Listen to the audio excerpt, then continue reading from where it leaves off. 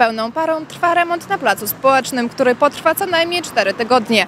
Prace remontowe zostały podzielone na kilka etapów, a to oznacza, że na każdym z etapów będzie zamykany jeden pas ruchu.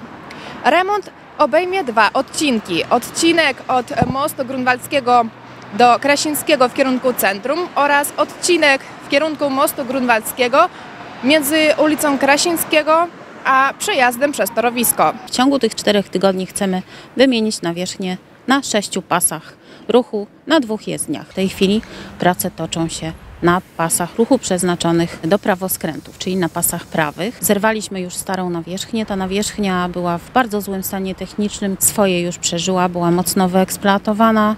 Dużo spękań, odkształceń, e, sfałdowań powodowało ogromny dyskomfort. Co więcej, taka nawierzchnia jest bardzo narażona na powstawanie tak zwanych ubytków pozimowych. W miejscu zerwanej nawierzchni pojawi się nowy beton asfaltowy, który będzie odporny na działanie wilgoci, a to z kolei sprawi, że na remontowanych odcinkach Zarząd Dróg i Utrzymania Miasta nie będzie musiał łatać tak zwanych poziomowych dziur. Szacujemy, że prace na pasie prawym będą trwały około 10 dni. Następnie po zakończeniu e, prac na pasie prawym i ułożeniu nowej nawierzchni przechodzimy na pas środkowy.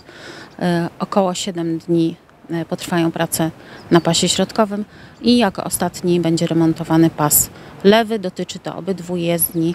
E, Przy takich e, założeniach rzeczywiście w ciągu czterech tygodni powinniśmy mieć temat zamknięty. W tym czasie kierowcy muszą liczyć się z utrudnieniami i uważać na znaki oraz tablice informujące o zmianach organizacji ruchu. Wiadomo, że utrudnienia y, są, mogłyby być większe, wtedy te prace potrwałyby krócej, ale wiadomo, że jest to niemożliwe, bo musimy zapewnić kierowcom przejezdność, dlatego jeden pas jest poddawany pracom, na dwóch pasach odbywa się ruch i tak będzie to trwało do połowy grudnia. Całkowity koszt remontu nawierzchni na placu społecznym to milion złotych. Echo 24, Nina Jewtuszenko.